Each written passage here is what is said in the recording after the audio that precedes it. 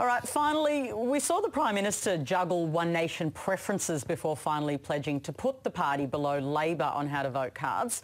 But it's revealed a split within the coalition with the Nationals still open to the idea, of some Nationals very much putting One Nation before before Labor. Ron Boswell, I want to go to you first on this because you, you know, you're often quoted to me actually by colleagues still in the Parliament as the, as the one who led this push to get rid of One Nation, to put them last, to take them on. Are you disappointed your party's not taking a stronger position? Well, I'm very pleased that the Liberal Party have uh, adopted the position to put One Nation last, uh, or not last, but below Labor. Uh, I'm, uh, I'm hopeful that the National Party haven't made a uh, haven't made a final decision yet. I'm hopeful that they will.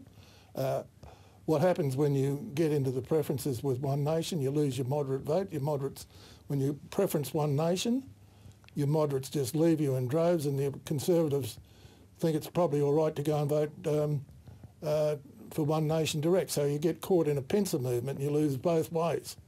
Uh, there's only one way to take one uh, take One Nation on is explain the policies.